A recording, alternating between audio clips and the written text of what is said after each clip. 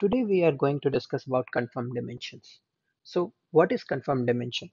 A conformed dimension is basically a dimension which is shared across multiple facts or subject areas and has same meaning for everyone. This can also be determined through a bus matrix. You can see a bus matrix here in the uh, PPT. So a conformed dimension can also be determined through a bus matrix. Consider we have a order fact. So we have order fact.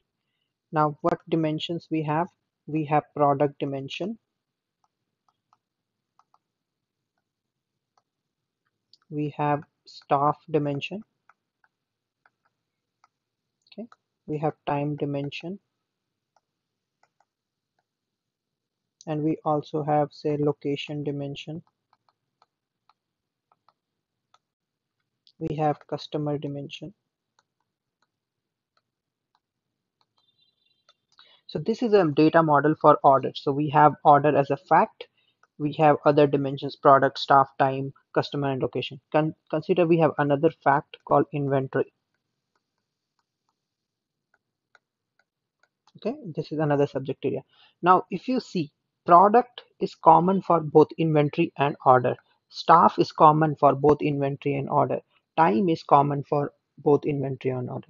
Other than this, inventory can have its own vendor dimension, okay, which is not shared, and region, for example, one more say region dimension. Okay, now if you see this, these are the two facts. Okay, other than this, this dimensions one, two, and three. These are shared across two facts or we can say two subject areas. Okay one subject area is our order another is our inventory. Okay so these are shared across two facts or two subject areas. Now this particular section of dimension so product dimension staff dimension and time dimension this type of dimensions are called conformed dimensions